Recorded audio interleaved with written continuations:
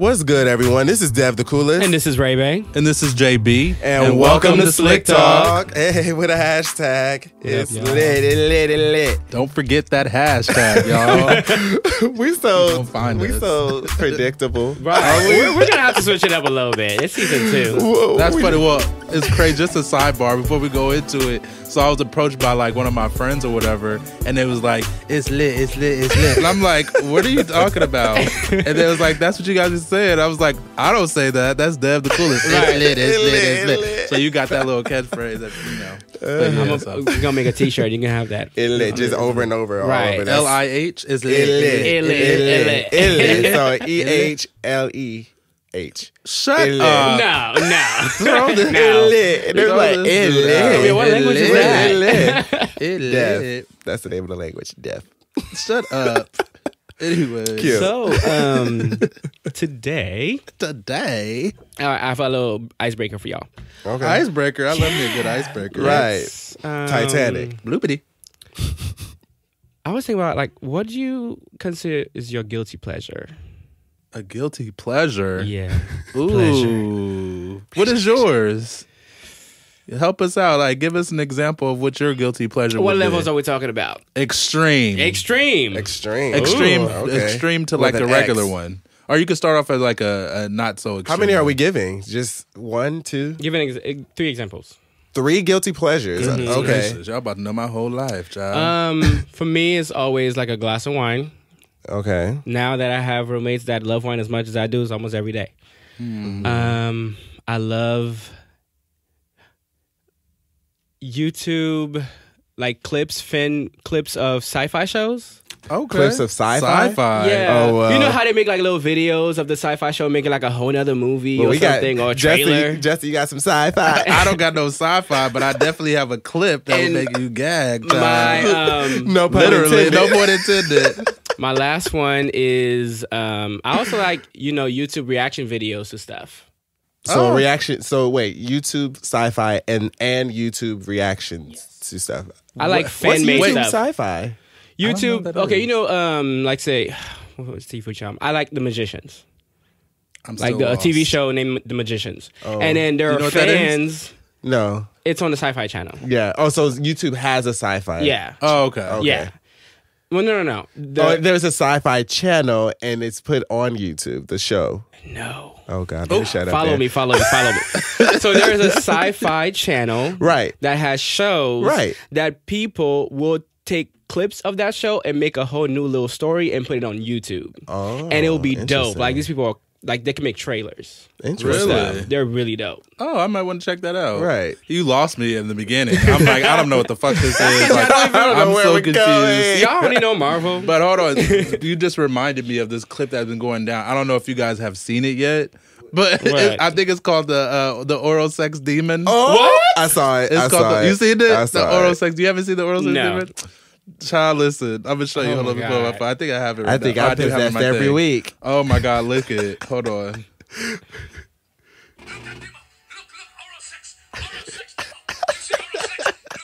Look at her face. What the hell?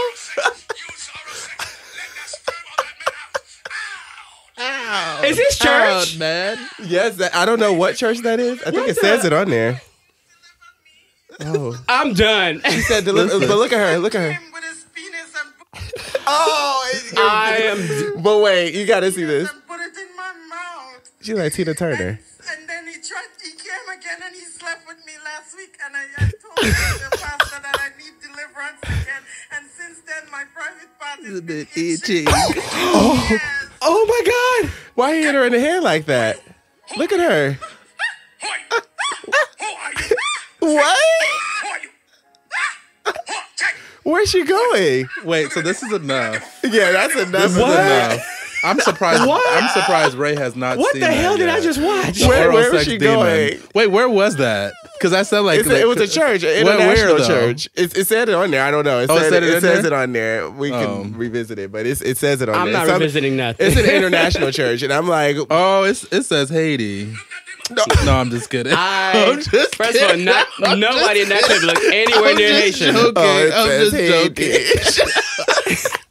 I hate you. I'm just joking. I can't stand no, you. but anyway, so I'm surprised you didn't see that. I But did- we see your reaction. I've seen so. the picture like on like stuff people are watching, but I've never like clicked on it. Oh, Oh, I thought Like- I had sent it to you too. but not her Maybe getting you- possessed in church. Oh, no, sex. Let the oils, and then the, the stuff started dripping out Out her her mouth. I mouth. said, "This is too much, John." Like, Wow. Can you Just throw imagine the being whole phone somebody in the away. congregation watching? Okay, And, and, they look so serious and stuff. right. I like- never not want to go to church so much in my life. okay, so you back to what you were saying. So you The said guilty pleasures. To guilty so- pleasures. Okay, what are yours? Sorry, sidebar. oh, you said all yours already? I did. Yeah. Oh, Okay. Uh, what are I mean, mine? all mine. uh, They don't need to know all of my good. Oh, got. Um, one of my guilty pleasures is I actually, I know it's kind of crazy, but I actually like threesomes. Is that bad? I love how we just. That is not I mean, bad. hold on, hold on. So let me rephrase. So you, the, the, not there's threesome that you're here talking, but like sidebar Oh. because we're all friends and everything. But I just Well, want to yeah, clarify. I, thought- I hope that goes Yeah, without saying. I'm, just, I'm just saying because people are listening to us for the first time, probably. Like, what are y'all yeah, into? No, no, no. It's specifically me. I'm yeah. So yeah, I'm into threesomes um, a lot. Um, so that's one thing. And then what would be a next thing? Uh, don't know, stop your opening life. your eyes, child. Like you don't know me. Anyways, um, I actually like to eat a lot. okay. So I like eating. I guess is that a guilty pleasure? Yeah, it can be. It depends. if, if you're trying to have a healthy lifestyle, but you eating on the side anyway. Yeah, exactly. That's that.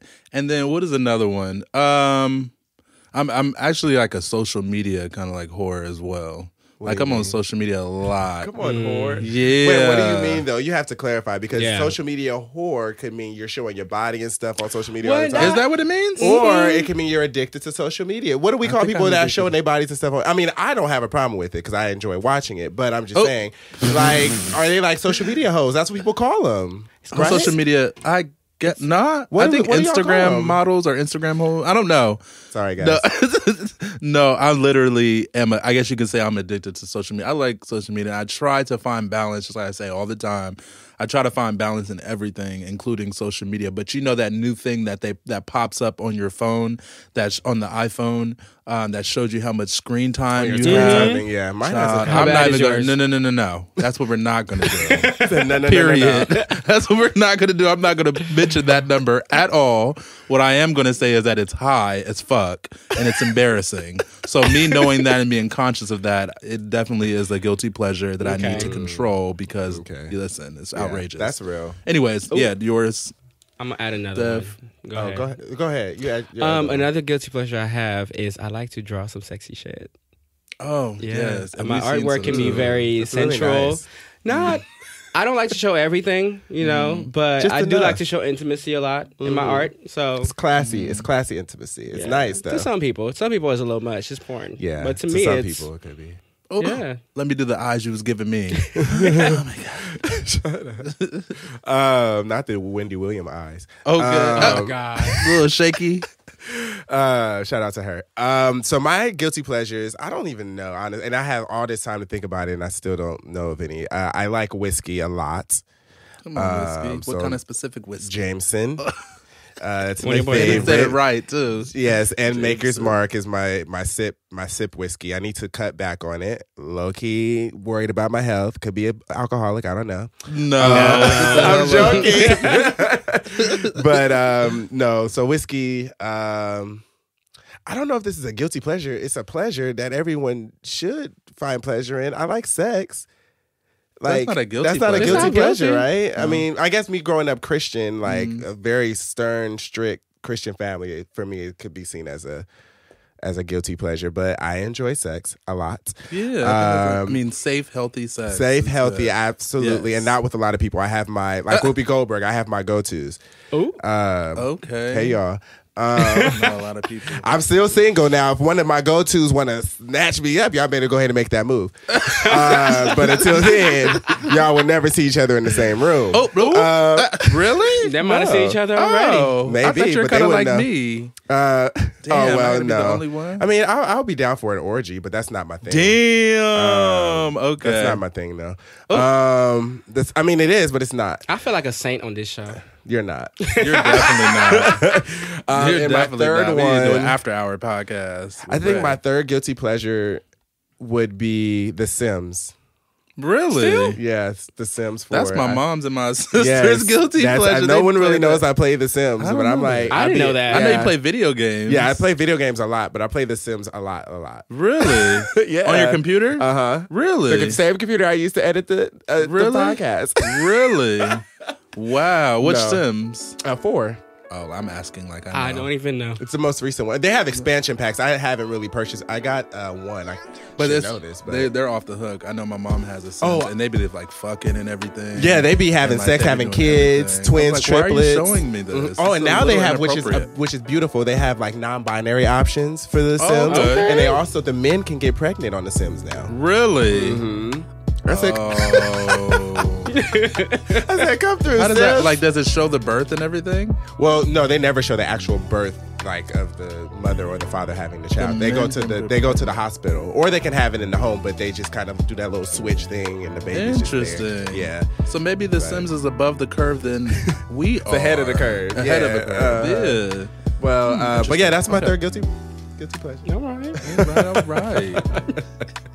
what are we talking about? today, I thought of a topic today, being at work. Um, it's about being black in the workspace. Okay. And I know for us it's very different because we're in different fields, or Mm-hmm. you know, if, if you're, Our experiences are a little yeah, different. it's very, Yeah. exp- and I have a lot of them. But um, I want to start with you. Do you have the coolest? I was like, huh. Like, ooh, give us a little spill. Um, okay, yeah. So I guess I'll be coming from more of an entertainment standpoint. Mm-hmm. Um, I'm an actor, uh, full time now, um, and what's up? What's up? yeah, it's it's it's fun. It's a fun industry. I would be lying, and I know so many of my fellow black actors or any black person in entertainment could attest to this that the the opportunities are not there, um, which is forcing us to create our own opportunities. Hence. Issa Rae, Jordan Peele, Yes. uh, those are notable names. Um, Ava DuVernay, but um, like it's interesting because I'll get most times casted as like a supporting Mm-hmm. or an extra because when you're looking at the casting calls, they uh, list the race that they want the ethnicity. So they'll ask for Caucasian Mhm. or uh, ethnically ethnically ambiguous. Wow. So that is We- essentially a light skinned Well, black yeah, person. Yeah. Explain that. that just means like you, if we, if you were to see anything. somebody in the street, you wouldn't be able to like guess what their That they're ethnic skinned, background black, is. uh, Latino. But it, but that, but that's just a nice way to say light skinned black person. Yeah. honestly, Wow. like that's basically what it is. Um, or like exotic, which is not a good term to use, but you know, like that's just kind of what they go for with that. Um, so I do experience a lot of uh, I don't know if I want to say prejudice as much as lack of opportunity for dark skinned black people in the Mhm. entertainment business because we're still in a space of we don't sell quote unquote, even though we Yeah. do, but yeah. And that's one thing I, I actually noticed too is like when I um, watch who got Oscars, Mhm. like because you know I don't watch the Oscars, I watch the clips of who won. Mhm. I skip to the black people. Um, the performances It's of the like- black people. the few black people that do win are always supporting actors. Right. It's Mhm. rare. It's rare. The la I don't want uh, Denzel won Denzel and Halle Berry. and Halle Mhm. Berry. And Um, who else? but the thing, the fact that we can just name these people, like, Yeah. Yeah. is that's that's just a, a testament to how it how it is. Yeah. yeah. Like we, I wouldn't be able to tell you five years ago who won because it's just like it's like a blur of Absolutely. white faces, right? Absolutely. Um, so yeah, that's been my Wow. experience. From the uh, kind of obviously just given my overall experience. With so, that. JB, I know right now you like traveling the world, and um, so give us a little um, a little spill on what was your experience like when you were working in hospitality. Oh, so you want to hear about hospitality? Well, I guess I would definitely feel more comfortable with speaking on my hospitality background Mm-hmm. um, because, right, uh, my hospitality background I feel is more. I have more information to speak on as opposed to my creative directing and podcasting now. Um, but what I will say um, with hospitality, it's very, it's a very interesting industry. And what I mean by that is that higher you get up in position, what I've seen, um, I was working in hospitality for like four years, um, going on five. But what I've seen is the higher you get up, the least amount of people of color, black people Mhm. specifically, speaking on myself, you see. So it starts off at like um, uh, the room attendants. You know, um, some people call them maids or whatever, but they're room attendants. So it starts off of there, and it's crazy because you'll you'll see a lot more people of color in those positions, Mm-hmm. but the people of color that you see are kind of like you know the stereotypical people you would believe, which is like you know Asians or like uh, Latinos or you know um, even some Africans that have migrated, you know, um, that came over here um, and that are immigrants. Um, those are like easy jobs for them to get. Um, so you see those, and then the, goes to the front desk where you see you know people of color at the front desk. But the higher, you, more you get up to, you know. Um, People, uh, people in higher positions, management, and you know, um, front desk uh, supervisors, and you know, corporate office. It just gets less and less. So, it in the beginning for me, it was definitely um, it didn't it didn't make me feel good and i Yeah. felt like i didn't have a chance to reach those heights starting at the front desk Mm-hmm. but then also i knew that i was confident within myself and i knew what i can bring to every position in the hotel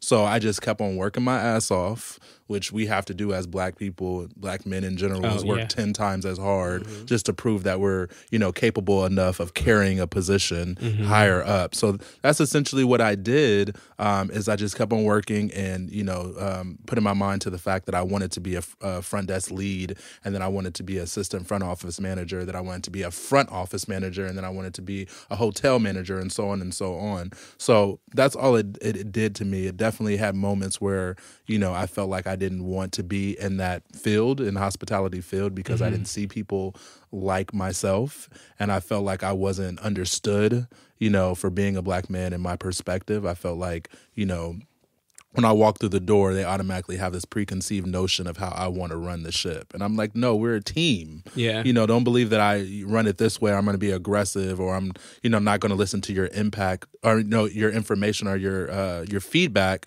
uh, just because I'm in this position right now and I'm Yeah. front office manager, hotel manager. Like, I'm definitely open to everyone's idea, but it's just something that they place on us uh, as black people and black men that they, you know, I think it's people that intimidation, honestly. it probably Yeah. is definitely is. an intimidation and, and not knowing what to expect and not being in the presence of of enough, not Wanting having to have friends or control. something, and wanting to have control and stuff. So Yeah. for me, it definitely was several. Um, I mean, just to wrap it all in, it was several different um, situations where you know I felt you know like I was singled out, Yeah. or I felt like I was incapable of you know doing my best because I didn't have the support that I should have been receiving from corporate or Ye- oof. you know so it's definitely it's a, it's definitely an interesting industry to be in as a black person as a black man as well uh, you know I, I personally can speak from my experience but you know as a black man Yeah. specifically it, it gets pretty tough in the hospitality industry For me, um, right now, I'm actually very privileged in the job that I have because this is the f- first time in a corporate job that I see diversity in the workplace and like there's kind of like this equal amount of like gender and race. Like my office looks like if you wanted to walk into the office, see what it like what you would want to see. Mm-hmm. I have mm-hmm. that, and I'm so privileged. And we're also we're a tight knit group. We're a small office, and we work very diligently and hard to get projects done.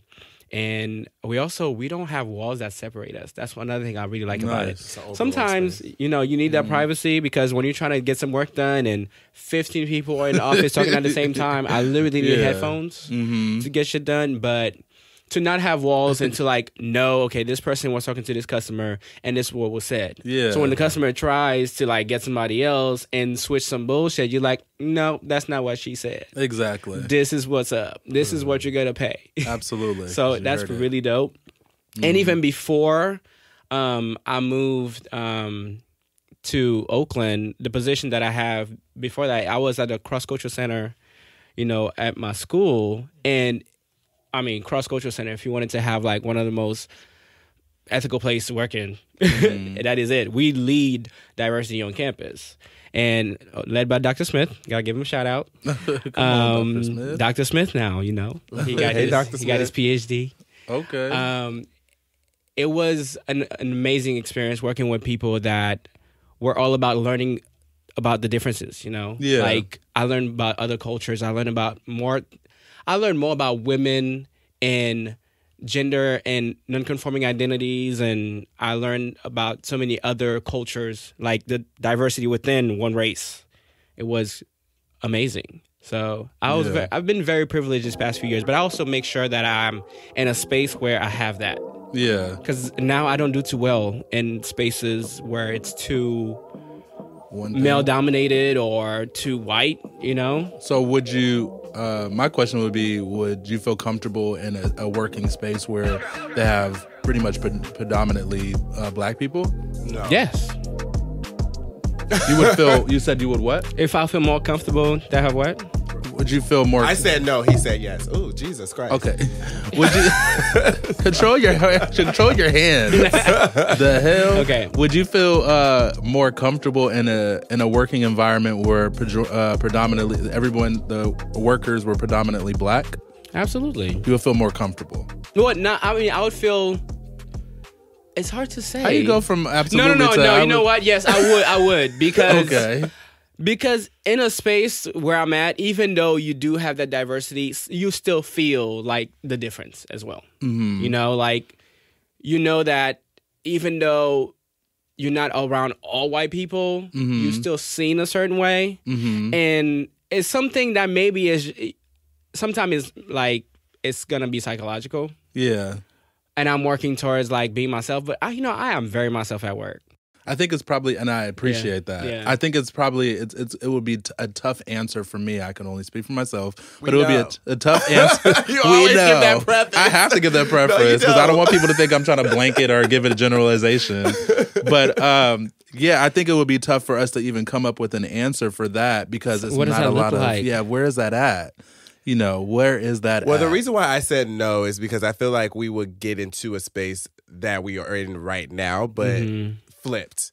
Mhm. Like right now, there's not enough of us at the table, Mm-hmm. and there's too much of one thing at the table, right? Now, if there's too much of us at the table and not enough representation of other people, I think that'll just be flipped. I think it's just having the diversity. The diversity is what's important. The diversity and having the mix of men, women, different cultural backgrounds, different identities, however people view themselves. That's important. That's where you avoid running into issues like uh, Prada and Gucci had with the blackface and stuff like that, Yeah. right? Um, but too much, uh, like if it, I would feel comfortable. Yes, absolutely, I would feel very comfortable. But I don't think it would be the most. Uh, conducive. yeah, it wouldn't be the most like I guess progressive uh model of running a business. You don't believe it would be the most progressive? Mm. I'm into um a, a black business. You know? Well, I mean, yeah, absolutely. I'm but into I, it. that isn't. I mean, I'm that goes. saying- with, that's not. Yeah, Yeah. you can finish. Your Like, no, uh, I'm, uh, I'm, uh, not, I'm not saying that it's, but we shouldn't have black businesses. I think yes, have black businesses, be black owners, be at the table. If you if it's majority majority black, absolutely. But having it like just n- be all eight, black. nine black, one Asian, for example, it'd be like well, it in a ten it- in a ten people board. Like I feel like that's just that's kind of like fighting against the argument that like we are not like like why like because right now as a black community this now this is generalizing. We're we're, saying like we're upset because we're not there. Mm-hmm. Because these tables are mm-hmm. like predominantly white if not all white mm-hmm. right? Um now i guess wh- my question to that because what i'm getting at is i just don't see how it would be different if it was all black Well, And those- dep- so i guess what what are you getting at like what what Before Ray goes, I Mm-hmm. think it would depend on what job and what area.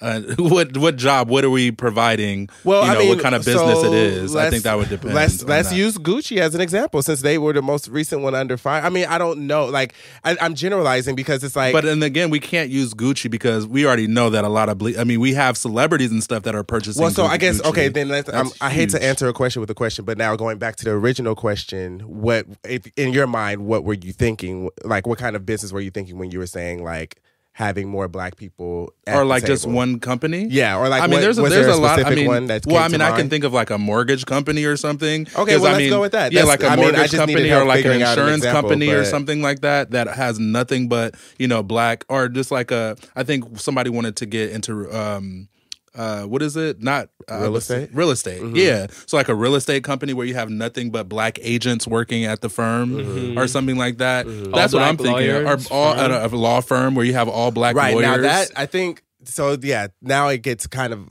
you know murky for me because it's like, well, yeah, obviously I would want to support that because they look like me and they would want to represent me. I guess in my mind, I was thinking of more of a larger corporation Oh, okay. vibe, mm-hmm. like a Yeah. Pandora or like a Spotify or like a like a bigger We never, established. I don't think we would company. ever be able to But get it- to but that. that even was in my mind I what we were you're talking saying, about, you're so thinking way bigger. exactly Absolutely. So Um, I believe more so in like community based businesses, and I think like uh, the business should reflect the community that it's in. So for me, it's like if I'm gonna have a bank in a community and a black owned bank, I Mm-hmm. want black staff there because they know how. I want people from the community to work in that bank because they they will know how to interact with people there, Right. And it will be less friction. Mm-hmm. Yeah. So that for me, that'll be very important. I think yeah, and I get what Dever is saying Yeah. on a larger scale. on a larger scale you know, corporate on a you have to corporate scale. reflect you know the public in a sense and um but i think we do need way more black people at the table Although I don't think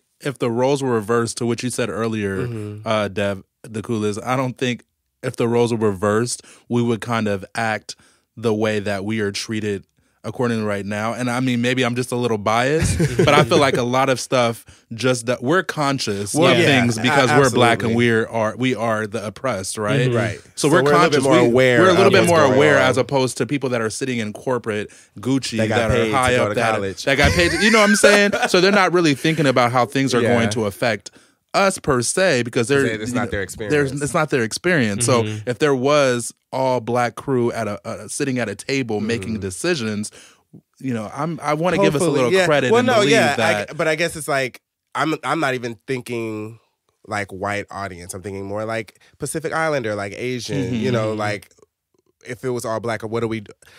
It's for me, it's layered, right? Like Yeah. oppression is layered, right? And this is going to sound maybe ignorant to some people, but I think that we do layer ethnicities in this in our society.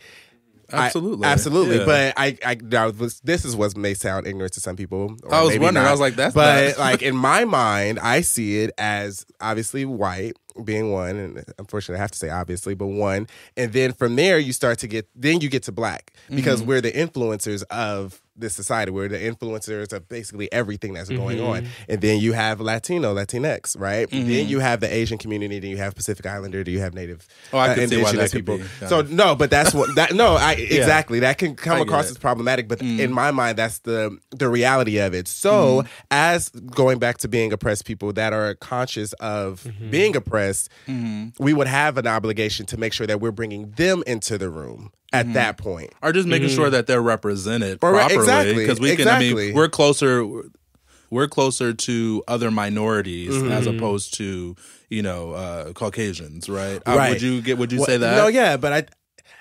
Oh, we run out of time, but I just Um, it's just I feel like we I, I would be nervous and hesitant. Not to say that we would do try it, to- but I would be hesitant that we would get into a mob mentality in the sense of like A group now we got mentality, yeah, yeah. group think exactly. I understand where you're coming from, but I think it also is subjective because you're talking about influence. But if you're also looking at resources, is that that tier that you Oh just yeah. about? Oh, no, no, no, no. We're not Yeah. talking No, about not talking about resources. resources, Okay. He's talking. He's definitely talking about Yeah, I'm- influence. yeah, we I'm- not I'm even not gonna go to talking about resources. influence, now. not resources. Not we at not all. even gonna go to resources. with all that, um with all all of what we said, like Mm-hmm. going back to acting and entertainment, that's that's why we create spaces for ourselves. Yeah. Because Yeah. we are not at the table. That's why we need to get into hospitality a little bit more because as you go up, you see less and less of us. Absolutely. I mean, you you sound like you got it made. Well, for now, I mean, I still have my days where Yeah. shit don't sound so And right, you know. Because you're, you're also doing the groundwork. Yeah. right. You're doing the Yeah. groundwork. Yeah, and I mean, you know what? That's my privilege in the office, but what I